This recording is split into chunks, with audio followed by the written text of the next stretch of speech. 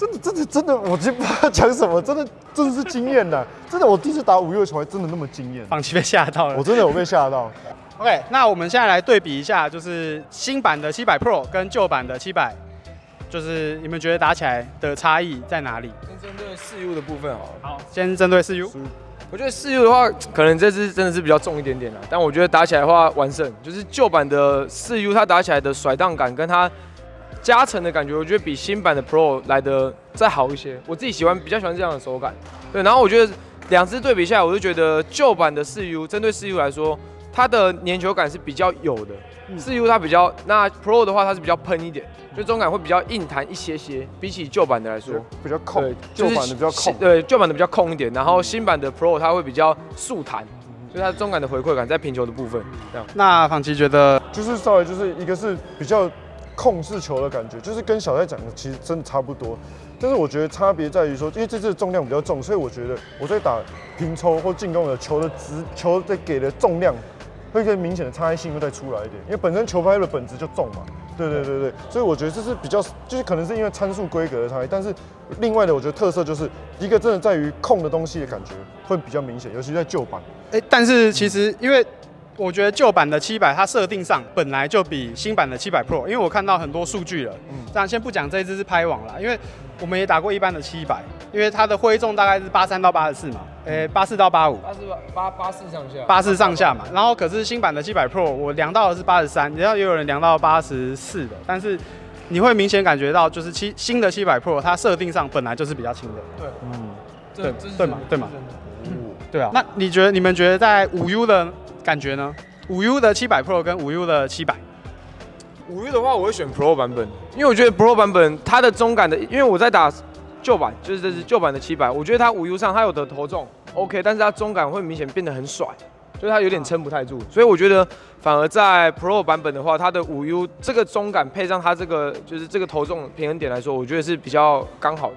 比较可以发挥出它这个头中的特性，比较不会说撑不住这样子。其实我觉得，如果对比现在新的七百 Pro 的五 U 跟旧版的七百五 U，我也会是选新的七百 Pro。嗯，因为如果以刚才在打的感觉来说的话，就相对来讲，就旧版真的是比较吃粘球。那如果相对来讲，如果它五 U 要吃粘球的话，其实推送的感觉就会没那么出来，没那么明显。对，真的会没那么明显，因为它要吃球，它要咬球，它要控球嘛，那它就会没那么明显。可是七百 Pro 它的五 U 它却有爆发力，对它推送完之后还有爆发力，我觉得真的是，真的真的真的，我就不知道讲什么，真的真的是惊艳的，真的我第一次打五 U 的球还真的那么惊艳，放弃被吓到了，我真的有被吓到，就是在旁边测有时候，我靠，这这这什么这什么这这什么东西这样子？对啊，所以这其实蛮奇妙的，让我觉得会不会其实以后大家。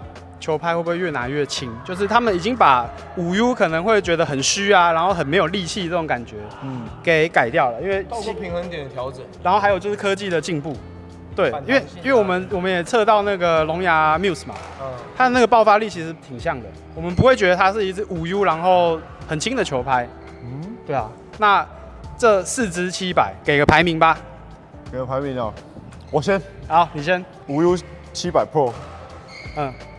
一般的四 U 七百，然后再是这支第三名，就是七百的五 U，然后七百 Pro 的四 U 这样子。对，最后才是七百 Pro 的四 U，所以是七百 Pro 的五 U，然后七百的四 U，嗯，然后七百的五 U，然后最后一名是七百 Pro 的四 U。对，那小蔡觉得呢？一样，一模一样。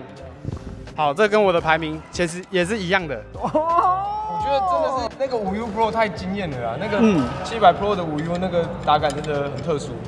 对，然后其他三支的话，我觉得就差不多差不多，但是明显那个重就是四 U 原版的四 U，它的那种加成感是比其他两支再好一点。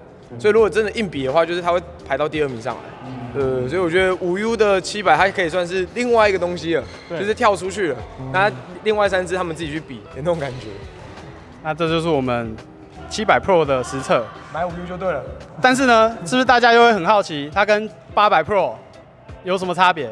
然后甚至有人会一问一千 Z 啊，还是什么九百 New 啊之类的。那帮我下面留言。对，我们已经拍好了，但是分成下一下一集。嗯，拜拜。拜拜。